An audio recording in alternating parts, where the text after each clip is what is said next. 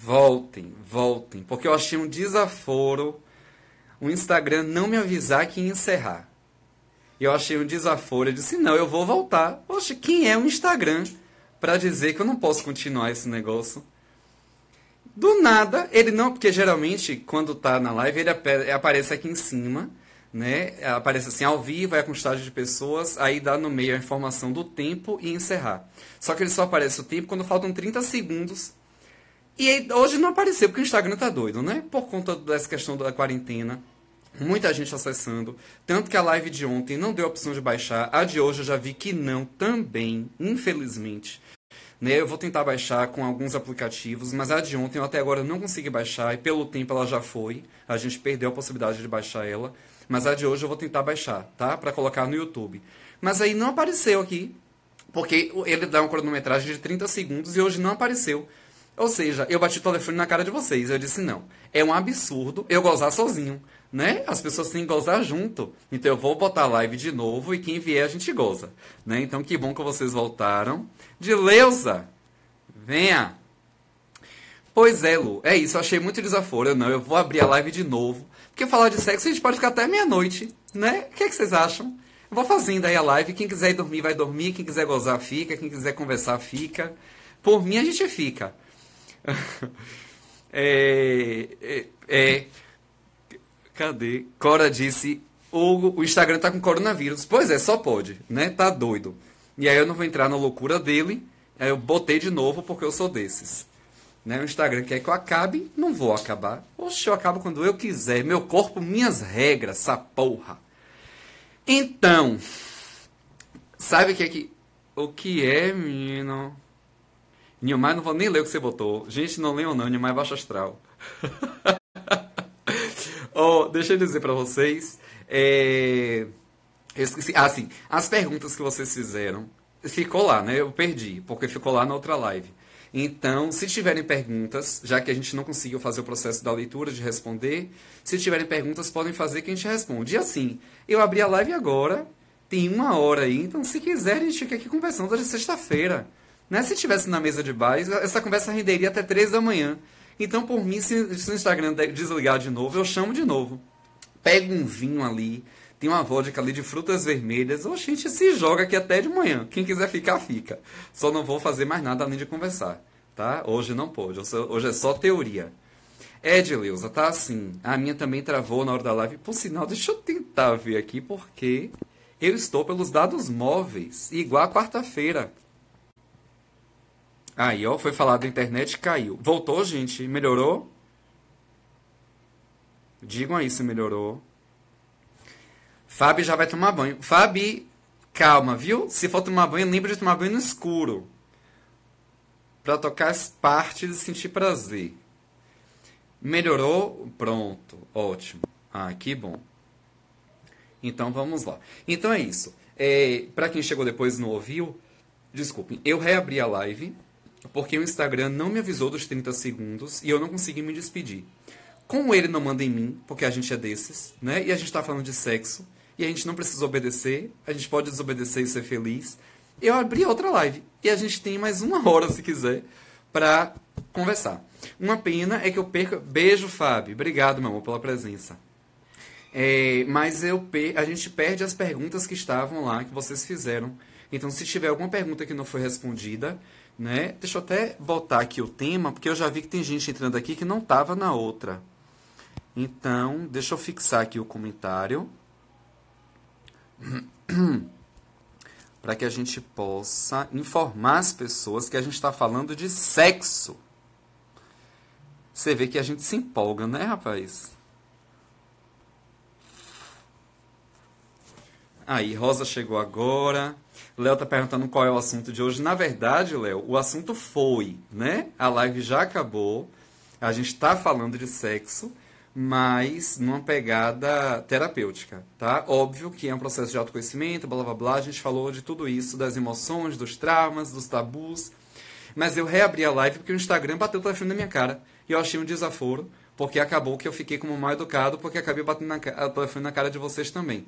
Então eu reabri a live para me despedir, mas eu resolvi não me despedir, porque eu sou desses. Hoje é sexta-feira, eu me empolguei falando de sexo, estou vestido, né? Me comportei. Eu me comportei, gente. Ai, meu Deus, eu tô com medo. Minha mãe tá assistindo, gente. Meu Deus do céu. Tem aluno meu assistindo. Minha filhada de 12 anos tava. Eu falei besteira, me digam aí. Eu falei alguma coisa absurda. Porque se eu falei, eu me empolguei. Me desculpem. É, e é isso. Se tiverem perguntas, tá? Que não foram vistas ou respondidas lá na outra, é, vocês podem fazer que a gente responde aqui agora, tá? Algumas pessoas perguntando o que foi que aconteceu, eu já expliquei. Hum, Tati disse, vamos mais uma. Bora, tô com pique. Ó, oh, Tati quer a segunda, hein? Tô aqui, bora, tô pronto. Hum, deixa eu ver se tem Instagram, Corona. Josimira disse que o Instagram foi gozar. Pois é, saiu correndo, deve ter ido gozar, também acho. É, Rose My Dear, minha pro de inglês linda. Foi muito interessante e divertida. Obrigado, pro. Hum... Reinaldo perguntou por que só tem mulher aqui. Mentira. Tem você, tem Nilmar, tem Léo, tem homem aqui também.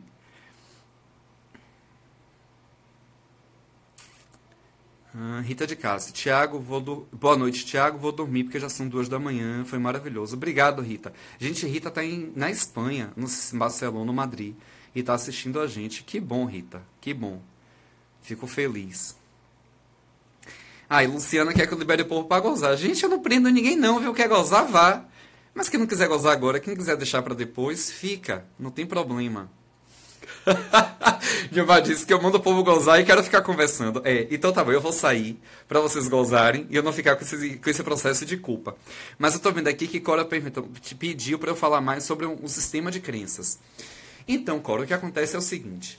É, a forma como a gente aprende algumas coisas na vida desde pequeno e coisas que a gente traz né, de um processo congênito nos condiciona a enxergar o mundo de uma forma ou de outra forma. Tá? Então, o nosso sistema de crenças vai fazer com que a minha percepção do mundo externo, a minha leitura do que está ao meu redor, seja condicionada a partir desse sistema de crenças.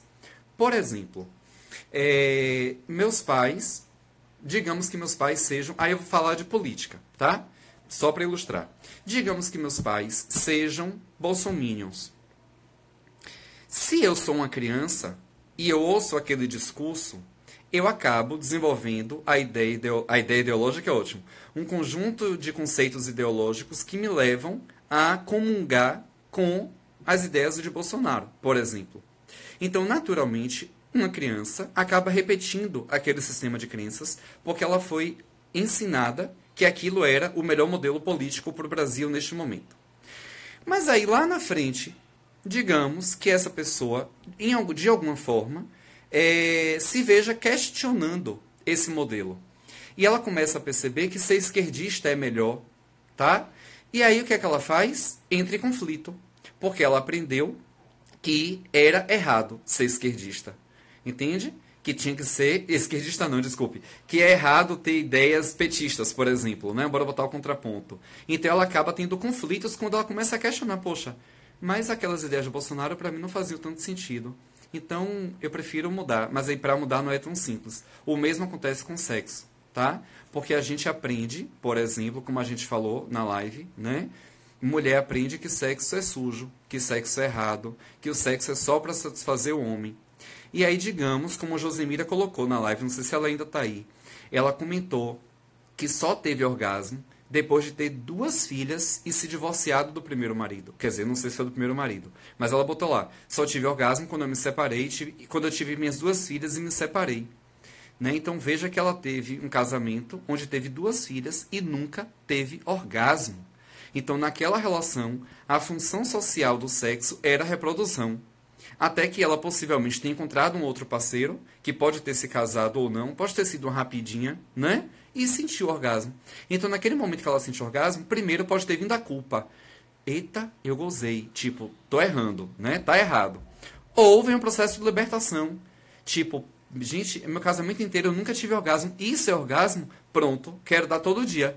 Entendem? Então, esse processo do sistema de crenças é o quanto que a gente é, é, toma como verdade e vai para a vida com isso. Então, se isso para mim é verdade, eu nunca vou questionar.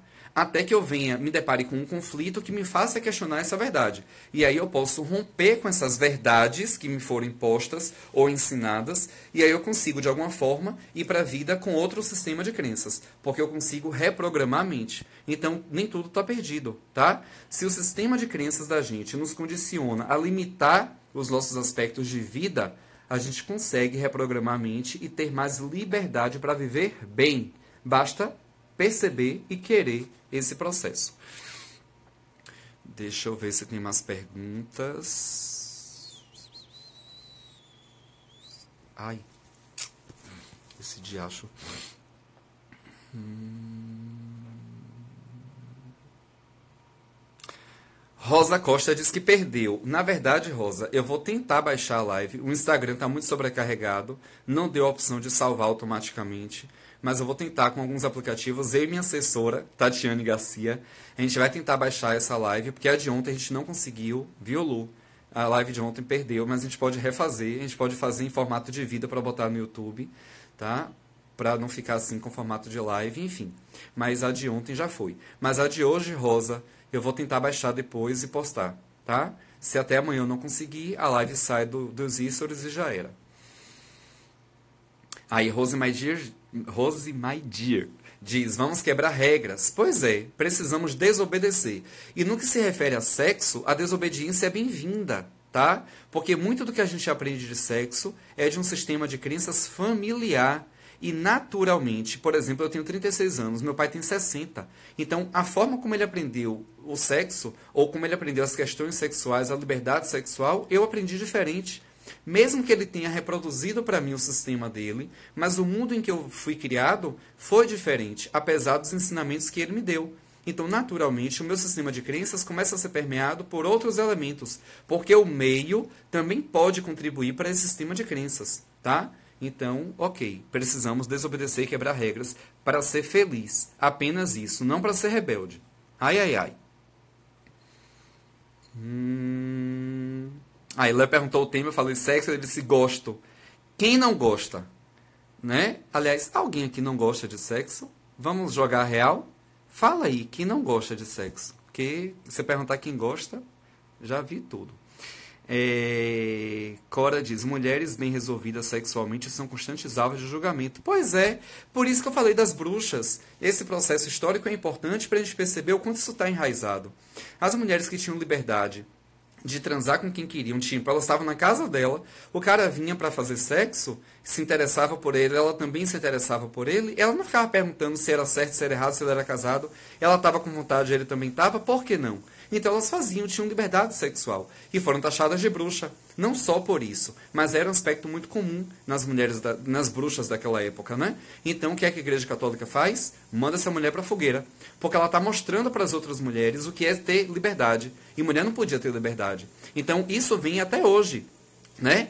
A mulher quando é bem resolvida, a mulher quando diz vou para balada para pegar homem, Ave Maria é puta, né? É leviana, é suja, é, é Aí vem um bocado de vagabunda, não presta, puta, vem um bocado de, de, de xingamento para ofender. Observem que até os xingamentos masculinos ofendem as mulheres. Porque quando eu digo filho da puta, eu estou xingando a mãe, não ele. Né? Quando eu digo que ele é viado, é porque ele é afeminado. Se ele é afeminado, ele está errado. Não presta, porque ele é afeminado. Percebe? Então, qualquer xingamento que a gente fala, corno, o homem é corno. Sim, qual o problema? Ele é corno por quê? Porque a mulher traiu. Então, todo xingamento masculino está por trás uma mulher que tem uma prática sexual ou que, e veja que é puta, corno, né? Então, sempre está tá associado a essa questão da sexualidade. Enquanto que para a mulher é vagabunda, puta, prostituta, piranha, ou seja, a mulher que não presta. Percebem? Até galinha.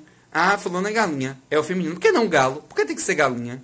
Né? Então veja que tudo que é xingamento, seja para homem, seja para mulher, nesse aspecto sexual, perpassa pelo feminino, porque a gente foi levado a entender que a repressão sexual feminina é real e é bem-vinda e é aceitável. Mentira. Não é. Hum, Rosa diz: adoro este tema, temos muito que aprender. Ou se temos. Oxe, Preta Lu diz: mais tarde tem, Tiago. Tem o quê, fia? Eu sozinho, né? Eu tô sozinho em casa, quarentena. Ô, oh, gente, tem não. Você quer dizer, tem, vou tomar banho no escuro, criatividade em alta. Só isso.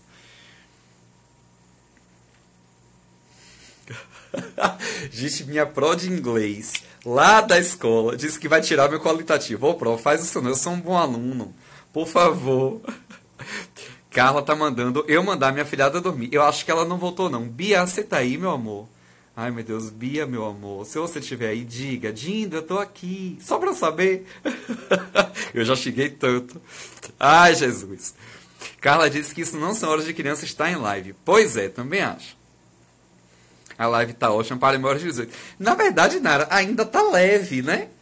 Tá leve. Bora chegar. Quando der meia-noite, a gente pensa em tornar a live maiores para 18. Mas assim, gente, eu tô falando sério. Eu não tenho medo, eu não tenho medo, ó, vixe, por que medo? Ato falho miserável. Eu não tenho problema de ficar aqui até tarde, não. Eu durmo tarde, tô empolgado. Semana que vem eu vou reduzir a quantidade de lives, né? Eu comentei ontem que eu tô num processo de estafa mental muito grande, porque eu tô atendendo online, tô fazendo orientação de TCC online, então hoje foi de 9 da manhã até agora. Parei 19 horas, aí comi, tomei um banho, sentei no sofá, relaxei um pouco, tirei até o Wi-Fi do, do, do celular. Já não estava funcionando, na verdade, o Wi-Fi. Aí eu desconectei os dados, fiquei um pouco desconectado, sabe? Para relaxar, para respirar. E aí semana que vem eu não vou fazer live de segunda a sexta, né? Porque, como eu falei, tem o livro com Gabi que a gente está escrevendo. Além desse livro, estou escrevendo outros dois. Tem as orientações, tem os atendimentos. Então eu vou pisar no freio. Porque senão a quarentena acaba e eu volto para a rotina exacerbada lá fora com cansaço. Então eu preciso me resguardar um pouco, tá? Mas hoje tá de boa. Sextou. Não tenho porquê dormir cedo. Então a gente pode ficar aqui, ó. Regina, meu amor, seja bem-vinda. Eita. Ah, Gabi, fala da, é, Gabi tá pedindo para eu falar da masturbação compulsiva. Gente, vamos lá. Ó, a masturbação é, vejam, aí a gente vai falar de dois assuntos. A compulsão, que é o assunto. Olha o que eu falei, a compulsão. A compulsão, ela vai fazer isso. o sexo tá aqui, né? Compulsão, que é o assunto de ontem, e masturbação, que é o assunto de hoje. Vamos lá. Lembra que a gente falou ontem que o processo compulsivo, todo comportamento compulsivo, tem a ver com os aspectos de preencher um vazio? Pronto. Ok. E aí Luciana trouxe a ideia, a Luciana que estava comigo na live ontem, que está aqui também, Preta Lu, ela comentou que todo excesso esconde uma falta. Ok? Então, se a pessoa, nesse momento de quarentena, e eu conheço algumas pessoas assim, viu? É, o povo fica falando comigo, ah, não aguento mais gozar, desde cedo que eu gozo, não sei o quê, né? Vejam que essa ideia da masturbação excessiva, desse, dessa, desse processo compulsivo com a masturbação, pode ser justamente para suprir a falta do sexo. Pode ser para aplacar a ansiedade, porque a masturbação, o orgasmo, libera cortisol, é um hormônio do prazer, então é uma forma da gente sentir prazer. Assim como comer, assim como ficar na internet o dia inteiro assistindo live, assim como ler, qualquer coisa que te dê prazer. Só que isso pode vir no processo compulsivo ou não. Então a masturbação compulsiva pode, pode denotar a ideia de ansiedade por conta da quarentena, que está trazendo um comportamento abusivo, tá? Um consumo abusivo da masturbação. Então pode ser isso. Ah, mas isso não é só agora na quarentena, não, Thiago. Todo dia eu tenho que gozar pelo menos três vezes, quatro milhões de vezes. Então aí já é um processo patológico.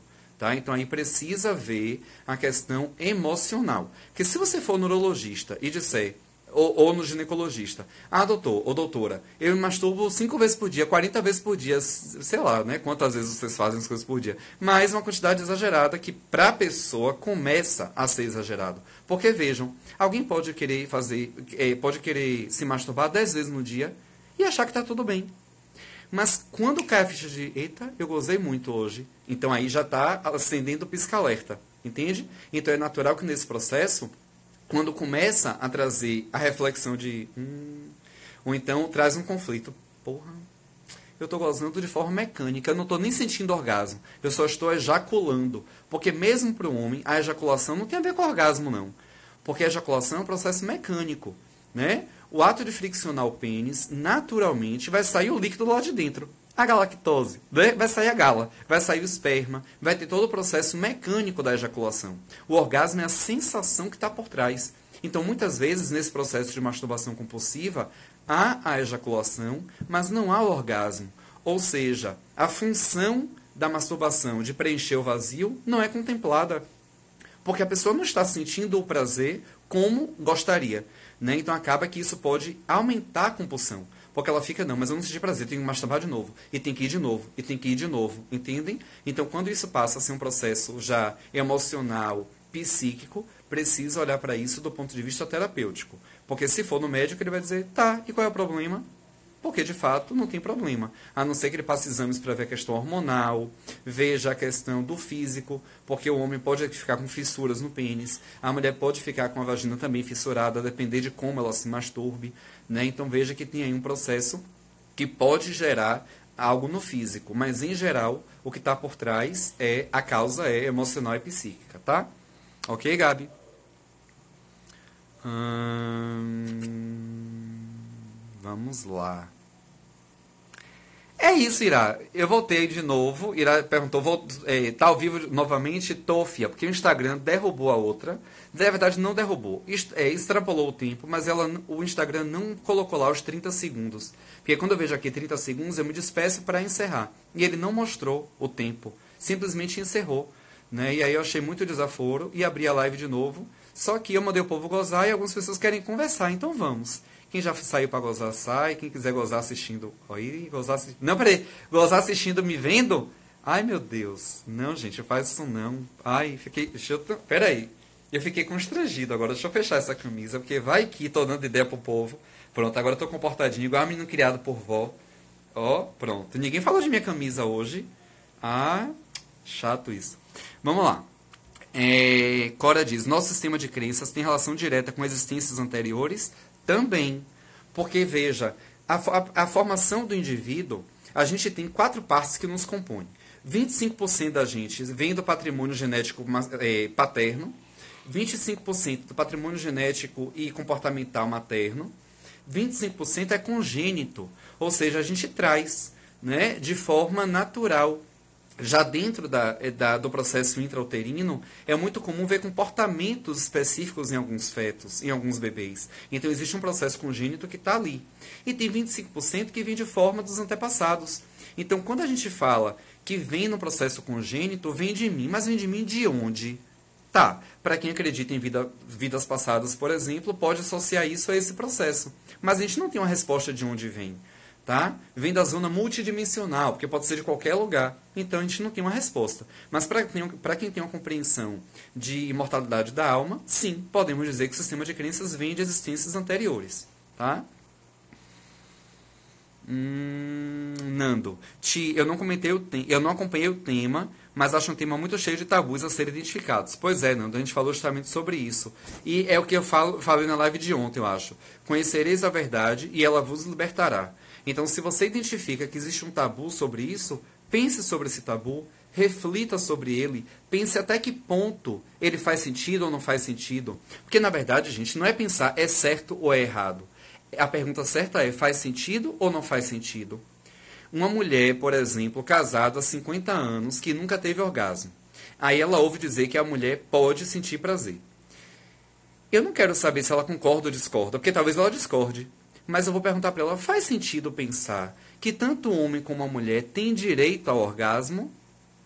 Tá, faz sentido. Entendem? Nesse processo de fazer sentido, ela começa a repensar o sistema de crenças, começa a repensar até que ponto aquilo dali é tabu. Então, o processo de autoconhecimento é assim que acontece.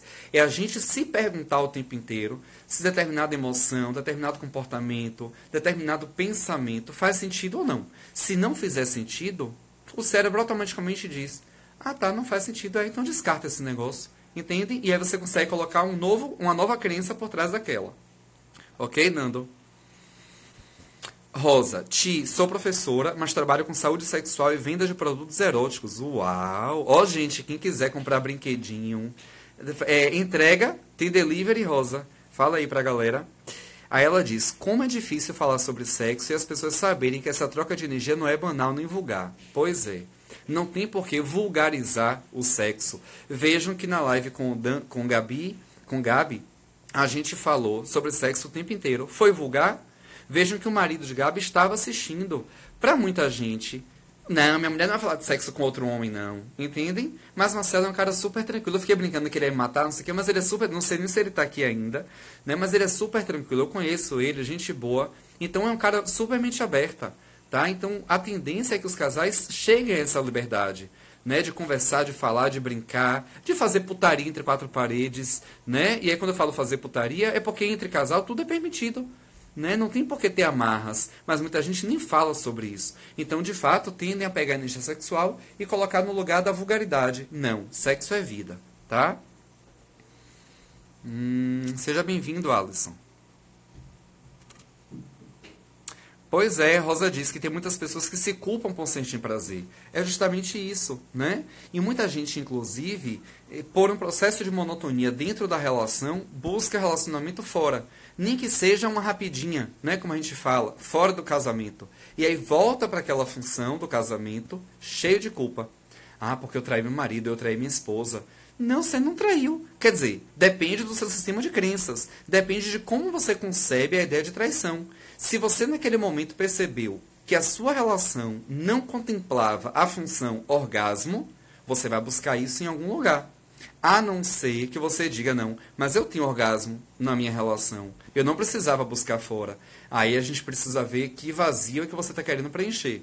Né? O que é que está faltando? O que é que está te deixando incomodado a ponto de buscar alguém fora? Então isso a gente pode olhar, tá? Mas isso tudo no processo terapêutico.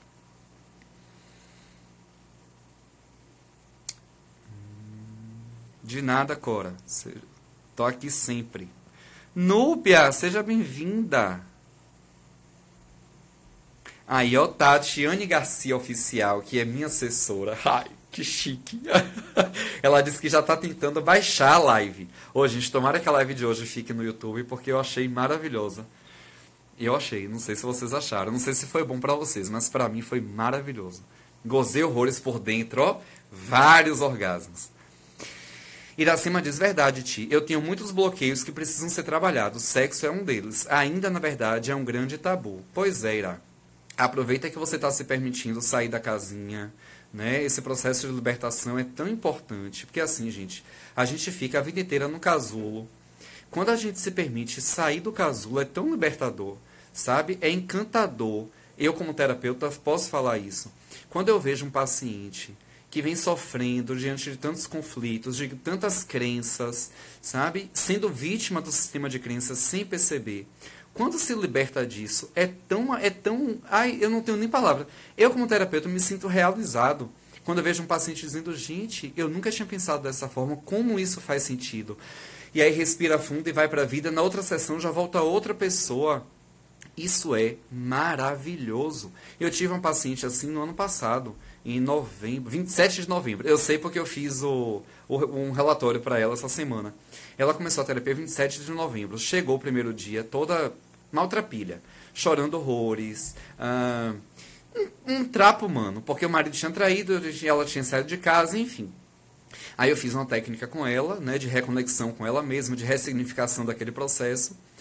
Na semana seguinte, parecia outra mulher. Tanto que ela estava na recepção. Eu saí da sala, olhava na recepção e ela tinha dito no, no WhatsApp: cheguei. E eu chegava na recepção, não via, voltava para a sala, ia para a recepção, voltava para a sala, aí a recepcionista mandou, Ti, Márcia chegou. Quando eu saio, eu disse, não, não chegou, ela chegou ali. Quando ela apontou para mim, aí eu falei o nome. Eu falei o nome, desculpe. Mas tantas Márcias no mundo. Márcia é pseudônimo, pronto, ó. Márcia é pseudônimo, o nome dela não é Márcia. Aí, né, eu disse, não chegou não, que ela não tá aqui, tá ali. Quando ela apontou que eu olhei, era minha paciente. Eu disse, gente. Aí ela entrou no consultório e eu disse: Você acredita que eu não te vi porque eu não te reconheci? E de fato, ela estava outra mulher, arrumada, passada batom, cabelo diferente. E aí eu perguntei: O que aconteceu? Aí ela: A culpa é sua.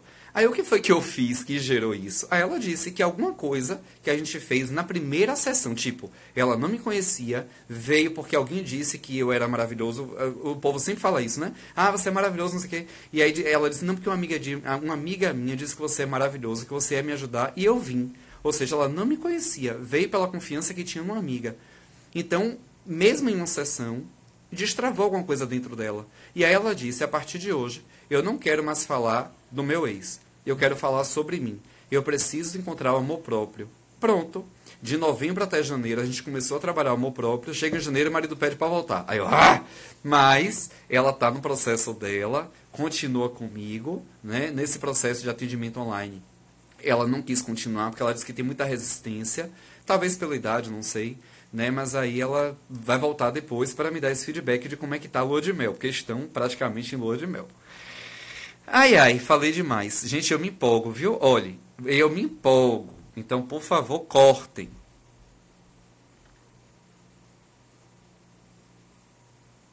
Aí, Reinaldo diz que acha loucura as freiras não poderem, não poderem casar. Pois é, freira não pode casar, padre não pode casar. Mas deixa eu te dizer, Reinaldo, aí é um processo histórico. Sabe por quê? As pessoas que, têm, que são beatas ou missionárias na igreja, né, padre, feira, não sei o que, não, não pode casar, porque lá atrás a igreja era o maior, a maior fonte de riqueza. Ó, oh, Naí Almeida é professora de história, minha amiga linda, foi diretora lá da escola, minha chefa. E ela tá aqui na live. Então, se eu falar besteira, pro, viu, Naí? Pode dizer, pode corrigir. Mas, Reinaldo, é, te explicando isso. Uh, então, a igreja era tão rica, tão poderosa e tão egoísta. Gente, eu falo isso sem, sem nenhum tipo de julgamento, tá? É uma análise da história. Basta olhar para a história que vocês vão entender que a Igreja Católica era.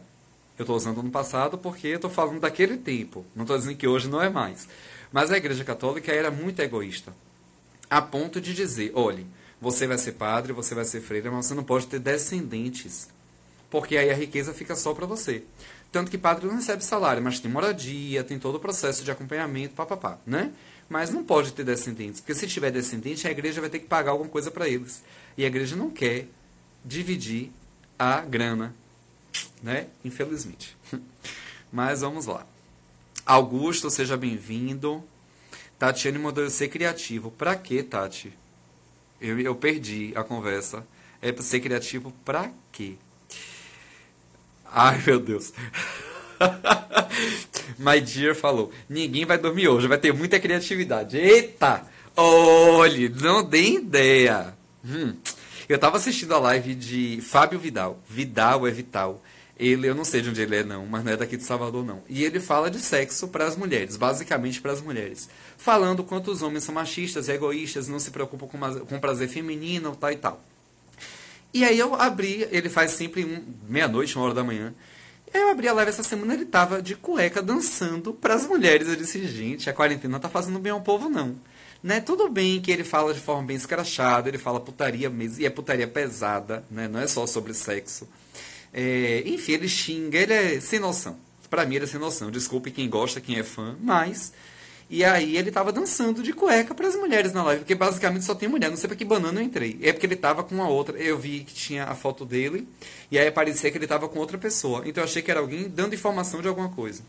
Era uma das mulheres, uma das espectadoras para poder ficar assistindo ele dançar. Enfim, mas eu não vou fazer isso não, viu? Prometo me comportar. Você vê que eu até fechei a camisa, ó. Fechei. Para não dizer que tô dando ideia pro povo, mas tô com calor, quero abrir, quero tirar a camisa, mas não vou não. Reinaldo fala assim, professor, por que as freiras não podem fazer sexo? Reinaldo, porque eles fazem um processo, tem a questão do celibato, né? Eles não podem, não podem casar. Mas vejam, lembra que a gente falou da repressão é, sexual feminina? Então, óbvio que as freiras seguem isso à risca. A gente vê muitos padres que não seguem isso. Né? Padres que vão para festas mesmo, que bebem mesmo. Eu não vou dizer que transam porque eu não sei. Cala-te boca. Enfim, né? Mas é um processo do. faz parte do contrato, tá? Freira, padre, não sei o que, não pode. Tem que viver para Jesus. Acabou. Não me. Ó, Reinaldo me largue, viu? Pare de falar de religião aí, pelo amor de Deus, porque tem um pastor aqui, Jairo Santos, meu aluno, meu ex-aluno, né? Porque saiu da escola, mas é meu eterno aluno. Daqui a pouco ele me pede a benção de novo. E aí ele tá aqui, eu não vou falar, porque Jairo. É porque assim, gente, quando o Jairo tava na sala de aula, que eu dava uma porra, ele arregalava o olho. Eu dizia, que porra, ele arregalava o olho. Eu, gente, o pastor tá na sala, eu não posso xingar. Aí virou bordão, virou resenha. Aí ele fala isso, olha, cuidado para não xingar que o pastor tá na live. Enfim. É, Pilulica fala, fala sobre a relação do sexo com energia criativa. Vamos lá. O nosso corpo tem centros de força energética, que a gente chama de chakra, né? Não está associado com religião. Tá? Mas a gente, ah, mas chakra tem a ver com espiritismo. Tá, o espiritismo se refere ao chakra como, como um processo de, de energização, né, de centro de força energética do corpo, mas a gente pode pensar o seguinte: a região sexual do nosso corpo basicamente se concentra na região pélvica, no baixo ventre, que está associado ao chakra básico, o chakra terra, aterramento, conexão com a terra. Para que a gente possa estar associado a esse processo de conexão com a terra, é porque a gente tem energia vital, ok? Esse processo de energia vital é a energia que nos impulsiona, que dá criatividade, quando eu falo em criatividade, não é pintar, cantar, não é nada disso, é criar. Então, para que eu possa criar coisas, por exemplo, Nara, pelo Lilica Mimos, você trabalha com artesanatos, né? com costura e tal. Veja que isso é criação. Então, a energia de libido é alta. Se a gente canaliza essa energia para produzir algo, ótimo. Se não, vai condensando e vai bloqueando o chakra vai bloqueando esse centro de força e essa fonte corporal, essa fonte vital que a gente tem no corpo, começa a ficar, sabe? Ela não, não movimenta, ela fica meio que travando, igual a internet como está esses dias. Fala e uh, uh, uh, vai falando e travando. É basicamente isso. Então, criatividade como um poder criativo, como um poder de criação. Tá? Não como criatividade de pintar, de ludicidade. Não é isso. É o poder de criação mesmo por conta desse processo de ir para a vida, do impulso para a vida. Tá? Então é muito comum quando a pessoa chega no consultório dizendo: Ah, eu não faço nada na minha grada, é, eu não consigo decidir nada na minha vida, não faço questão de fazer nada. Sabe aquela coisa de não querer viver? A pessoa não quer se matar, ela só não quer viver. Basicamente, é um processo de bloqueio sexual. E não é um bloqueio aqui, é um bloqueio energético, é a energia sexual mal trabalhada ou por tabu, ou por falta de parceiro, ou por não entender que a masturbação pode ser uma válvula de escape natural e necessária, tá? Não é válvula de escape como se eu dissesse, ah, então se eu tenho um parceiro ou uma parceira, eu não preciso masturbar. Mentira! Masturbação é conexão com você mesmo. Então, mesmo que você seja casado ou casada, ou tenha um parceiro fixo e transe todos os dias, nada te impede de que você se masturbe todos os dias também. Isso não quer dizer que você gosta muito de sexo. Isso quer dizer que essa energia sexual está sendo trabalhada. Ótimo, parabéns para você. É isso aí, tá? Ok, Nara? Me fiz entender? Reinaldo pergunta se a masturbação faz bem. Aí eu vou te jogar a pergunta: por que faria mal? Responda e fique para você. Se quiser compartilhar, venha. Aí, o Jairo deu a benção. Oh, meu Deus. Obrigado, Jairo. Deixa abençoe, te dê juízo, vergonha na cara.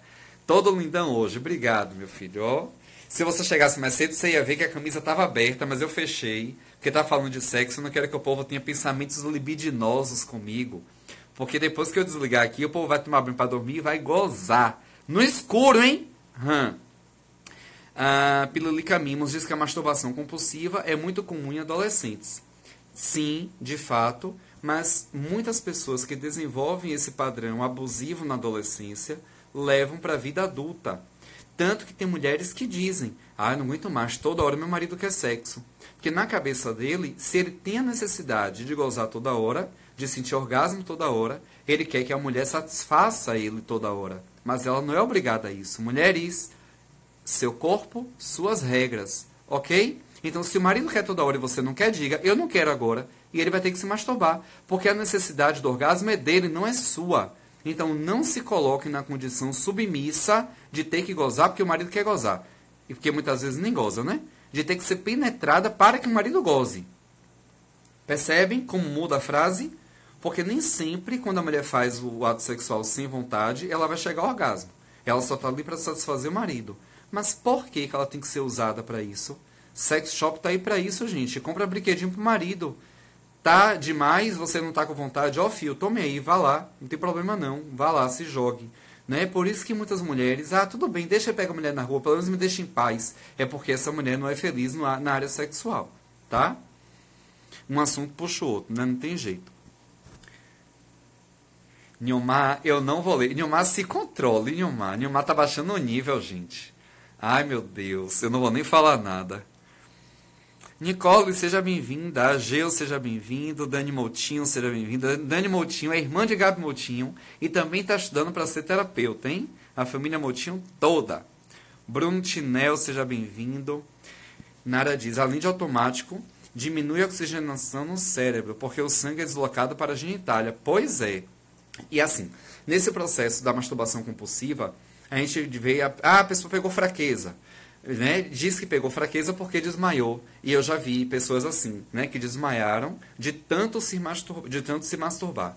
E é isso que na Arena trouxe. Na Arena é enfermeira, então ela trouxe um dado técnico que a gente vai usar para dizer que a gente é chique, entende das coisas. Mas é real, gente. A questão da masturbação compulsiva, que não vai trazer a função orgasmática, porque fica mecânico, né? A pessoa vai ejacular de forma mecânica, não vai sentir o prazer, porque está muito exacerbada aquela energia. Isso faz com que a, a, todo o processo sanguíneo do corpo se concentre no pênis. E quando a masturbação é, é compulsiva, o corpo toda hora vai canalizar a corrente sanguínea para o pênis. Por isso que o pênis fica ereto, para quem não sabe, né? O pênis fica ereto porque aumenta o fluxo sanguíneo naquela região. Então, é natural que nesse momento a oxigenação do corpo se concentre naquele momento, naquela região. E aí o que é que acontece? O cérebro fica sem oxigenação.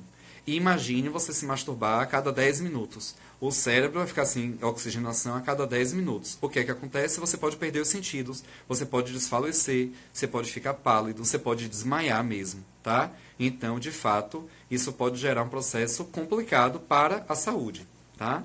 Mas isso não quer dizer que a masturbação faz mal. A gente está falando do processo compulsivo, tá? Não confundam. De nada, Gabi. Gabi Ejac. Ela falou que é mãe de Gabi. Ela falou ontem. Gabi Ejac 2. Você é mãe de quem mesmo que você falou ontem? É de Gabriel? Porque tem aqui um TH, ele me chama assim, então deve ser, né? Não sei. Leandro Sarmento, seja bem-vindo. Raí chegou. eu acho que eu vou chamar Raí para conversa, para vocês darem risada. Depois eu pego ele no susto. Hum... Ai, vocês disseram que eu sou todo lindo. Oh, gente, obrigado. Ai. O que é Raí? Gente, Raí, Raí, eu vou botar Raí e Nilmar juntos, porque são dois baixos astrais. Raí disse que live sobre sexo deveria ser você de cueca. Hashtag fica a dica. Filho, eu, eu, eu vou falar uma coisa. Quando eu estou em casa, eu não uso cueca. Eu fico de short sem cueca ou nu ou de shorts sem cueca, sem camisa. Ou de cueca sem canção, aquelas bem fofolé que você vai andando, ela vai caindo. Tipo isso, tá? Eu não vou dizer como é que eu estou agora. Mas eu não vou fazer de cueca porque minha mãe assiste a live, meu pai assiste a live, minha, minha filhada de 12 anos estava na live. Eu me respeito e a live é um momento profissional. Essa daqui eu já não sei, né? Porque vocês estão falando essas coisas aí. Enfim, mas vamos lá. Oi, vocês são ótimos. Aí, minha tia tá aqui, tá vendo aí? Minha tia de Brasília está aqui na live, você falando essas coisas. Gente, fiquei nervoso. Fabi, pare, viu? Pare. Alan, seja bem-vindo. Bi Bianca, seja bem-vinda. Ô tia, não voltei não. Aliás, voltei, voltei. Minha tia perguntou se eu voltei ou se tá gravado. Voltei, tia. É porque a outra live o Instagram derrubou sem dar a cronometragem dos 30 segundos, então eu acabei não me despedindo. Eu achei muito desaforo. Aí eu voltei para me despedir, mas a gente se empolgou. Né? Tá aí já, 42 minutos eu acho, não sei quanto tempo tem. Daqui a pouco ela vai derrubar aqui de novo e aí eu vou ver se eu volto ou não. Bora ver o andamento aqui das coisas. Pati, seja bem-vinda. Ó, oh, Fabiana terapeuta, Fabi terapeuta. Diz assim, ela também é terapeuta transpessoal sistêmica. Tem uma galera aqui. Ela diz assim: quando a mulher se masturba sempre pensando no ex-marido, relacionamento abusivo. Quer mesmo que eu diga? Vamos lá. Quando a mulher está no relacionamento abusivo, isso não quer dizer, gente, parem de julgar a mulher. Vejam, a mulher está no relacionamento abusivo, digamos que ela apanha do marido. Aí o que é que a primeira coisa que a gente diz? Ah, é vagabunda, gosta de apanhar. Por que, que a gente não fala que o homem é o homem é que não presta, o homem é que é vagabundo, o homem que é sem vergonha, né, que é mau caráter, que deve ir preso? Percebem? A gente sempre olha pro, pro lado feminino julgando a mulher. A gente não consegue nem falar a verdade que o homem é que não presta. Mas enfim, ah, chega a me dar um nervoso quando fala disso. Porque a gente acaba julgando mesmo. Mas veja que todo relacionamento abusivo cumpre uma função. A mulher, quando fica no relacionamento abusivo, não é porque ela quer, é porque aquela relação, de alguma forma, cumpre uma função na vida dela, tá? Então, é, Fábio traz aí, a mulher se masturba pensando no ex-marido, e o ex-marido tinha um padrão de relacionamento abusivo. Talvez seja porque ele era canalha, e geralmente homens canalhas têm sexos maravilhosos, e isso a gente pode pensar. Se vocês mulheres pensarem na melhor transa da vida de vocês, talvez seja com aquele cara que não valeu nada para vocês. Não valia a pena, um salafrário, um qualquer, uma rapidinha com um sacano, um galinho, um Dom Juan, né? Mas a gente consegue fazer essa relação muito natural. Tá? Porque se for um relacionamento abusivo e já é ex, cumpriu a função, não está mais ali. Mas de repente o sexo era bom. Entende? Então é natural que você lembre do momento do sexo. E o fato de você se masturbar pensando no ex que era relacionamento abusivo não quer dizer que você quer voltar para ele. Quer dizer que de alguma forma o sexo com ele era bom e você está se conectando com aquela energia daquele momento. Ponto. Libera a culpa e goze. Tá tudo certo, tá? Cora diz que precisa de uns brinquedinhos. Ó, oh, é, cadê quem é, meu Deus, que estava aqui? Rosa, que vende brinquedinhos. Ó, contato aí, tá? Busca ela aí na live, chama, vai lá no Instagram, fala com ela, compra e se diverte. Pois é, Rose My Dear fala, se não for bom para os dois, não faz sentido. Não faz sentido, gente. O ato sexual é feito por duas pessoas. Quer dizer, duas, três, quatro, dez. Enfim, né? Sexta-feira, bora dar asas à imaginação. Mas todo mundo, todo mundo que está naquele momento sexual, todo mundo, né, duas pessoas ou 40 pessoas, enfim, precisa tá bom. Porque pensem, se você estiver se masturbando sozinho e de alguma forma a forma como você está se tocando não estiver te agradando, você vai continuar tocando daquele jeito? Não, você vai mudar, porque tem que estar tá bom para você. Não é assim? Por que quando está com outra pessoa não está bom e a gente fica calado? Percebem? Então tem que ser bom para todo mundo para todas as 30 pessoas que estiverem fazendo sexo ao mesmo tempo. Eita! Iracema, te, estou conseguindo falar coisas para você e online que eu não consigo falar para ninguém. Caramba! Cola em mim, bebê! Pois é, Ira, porque assim, é o que a gente falou em alguma live essa semana. A, a questão chamada rapó. Rapó é quando o paciente e o terapeuta conseguem saber uma relação de, estabelecer uma relação de confiança, de cumplicidade, de respeito, onde entende que tudo que é dito é terapêutico, fica no set terapêutico. Então, mesmo no ambiente online, o fato de eu estar aqui em casa, vocês na casa de vocês, eu olhando nos olhos de vocês, falando como se fosse para vocês, que muita gente estar dizendo isso. Ah, você deu aquele exemplo, parece estar falando para mim. Pois é, porque a gente se conecta mesmo à distância. Então, no caso de Iracema, ela é minha amiga desde a época da escola, 95, sei lá quanto tempo, né?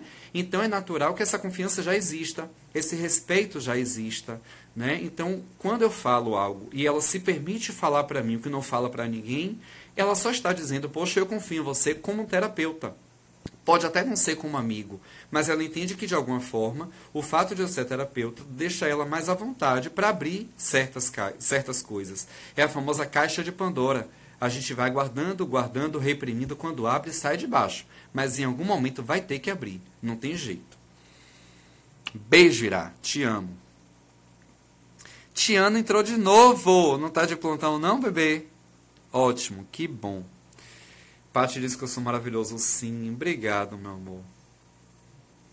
Fábio terapeuta. Faz o luto no marido. Seis meses, pede para voltar. Hum, pensa, né? Aquela relação chegou ao fim porque a função daquele momento chegou ao fim. Se você voltar para ele, qual vai ser a nova função? Tem que estabelecer isso. Se não fica claro para você qual a nova função da relação, você vai ficar sempre com medo de voltar por conta daquela função falida ou que já, ou que já expirou. Então é ressignificar a função dessa nova relação, mesmo que seja com a mesma pessoa, tá? Então não se culpe por, caso ele, ah, mas ele quer voltar, eu quero. Sim, se você quer, repense e vá. Mas se você repensar e achar que não deve, não vá. Tá tudo certo, tá? Hum, dourado girassol. Por mim você fala a noite toda. Gente, não dei ideia, eu tô falando sério. Ah, oh, Jairo disse: professores católicos vão aí na sua porta. Não só os católicos, meu filho. Meio de gente vai vir na minha porta. Porque eu sou é, eu sou verdadeiro. Para quem me conhece sabe que eu falo mesmo. Aliás, você sabe, né, Jairo? Que o que eu tenho para falar eu falo. Ditadura acabou. Querem que volte, mas acabou. Então eu tenho liberdade de expressão. Eu vou falar. Aí Fábio disse, Fábio Vital, o cara que estava dançando de cueca na live. Pois é, Fábio Vital.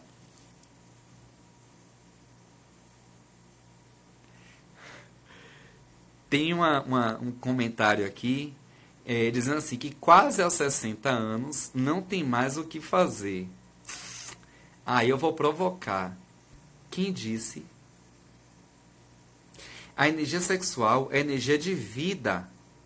Quem disse que aos 60 anos não é possível ter vida? É bom repensar isso, tá? Não estou dizendo que tem que sair por aí transando aos 60 ou indo no sex shop comprar as coisas aos 60. Mas lembra do toque, lembra do autocuidado. A minha energia sexual não depende do outro. A minha energia sexual e vital só depende de mim. Então eu preciso olhar para mim, para as minhas necessidades e ter um cuidado com isso.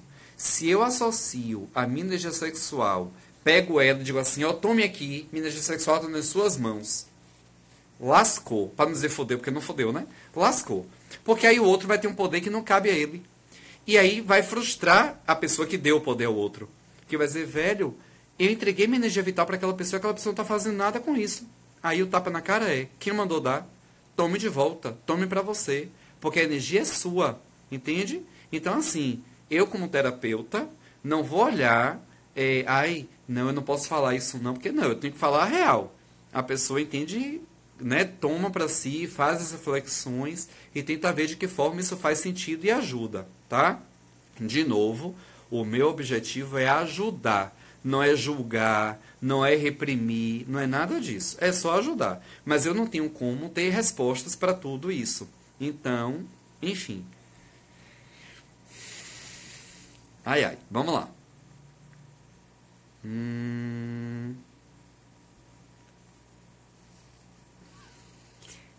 Ai, Jesus. Rita Guimarães diz: muito aprendizado. Obrigado, obrigado. Nilmar pergunta: o irmão é, Nilmar, o irmão tá aqui. É porque para você ele é irmão, para mim ele é pastor. Jairo está aqui. Imagine. Jairo, o professor Nilmar tá aqui também, viu? Tá vendo suas perguntas aí. Não te digo nada. É, Pati diz que muito boas suas explicações. Obrigado, Pati. Gente, o Edson Carneiro, Edson Carneiro é a escola que eu trabalho, viu? Tá aqui em peso. Dourado Girassol. Ti, como manter esse equilíbrio energético na região sexual? Uhum.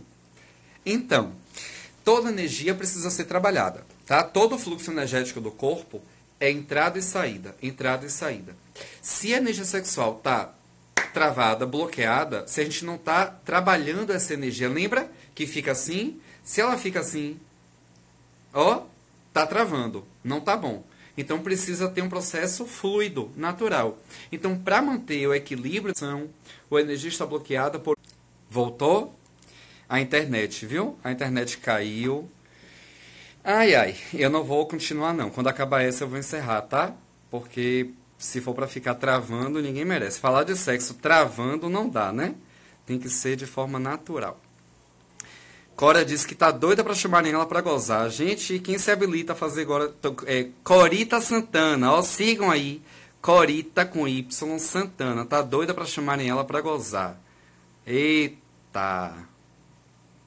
Reinaldo pergunta: é normal o sexo oral com todas as mulheres? Como assim? Todas as mulheres que você se relaciona, você querer fazer sexo oral? Super normal. Deveria fazer com todas mesmo, né? Ave Maria. Oxente. Cacau, seja bem-vinda. Léo Costa, Instituto Alegria, seja bem-vindo, meu querido. É, Cacau, na verdade, a hora certa, algumas pessoas já gozaram, viu? Mas seja bem-vinda. Aqui já é a segunda live, porque a outra o Instagram derrubou, porque deu tempo sem aparecer a cronometragem. E aí eu abri para poder me despedir e a gente está aqui. E essa já está encerrando também. Desde 9 horas que a gente fala sobre sexo. Mas a gente faz um rapidinho com você. Tá tudo certo. É, Nilma falou de gasto energético também. Pois é, o gasto energético, você liberar energia sexual de forma ah, só gastando a energia e não repondo, né? ou seja, aquele processo de renovação, também pode gerar bloqueio.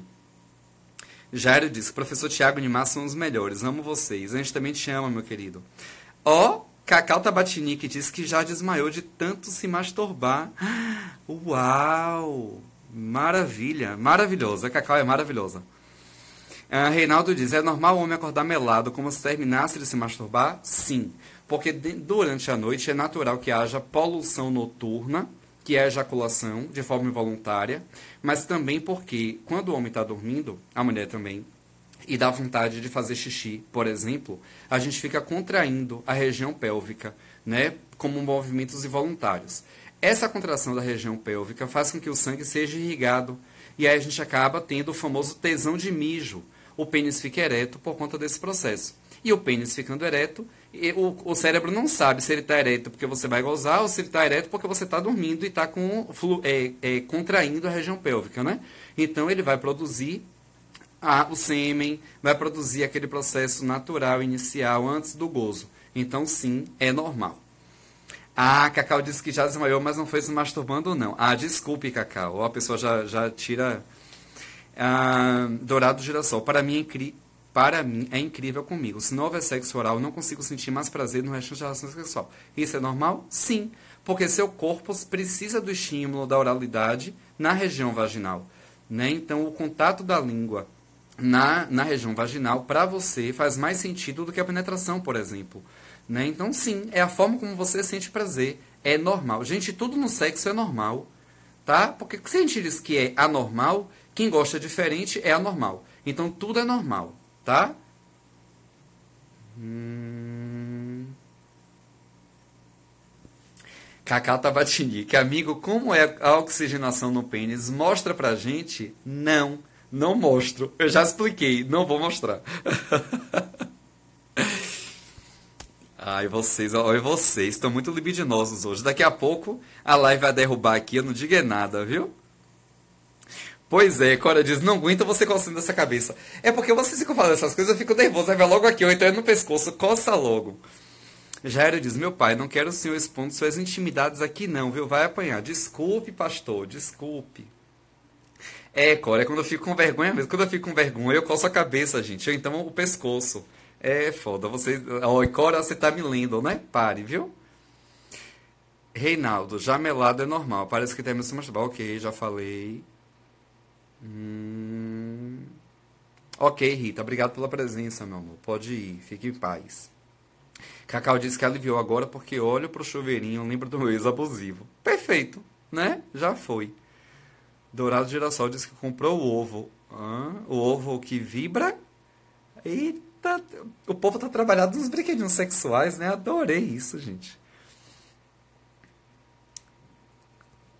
Vamos lá. É, tô vendo aqui agora que vocês disseram que travou.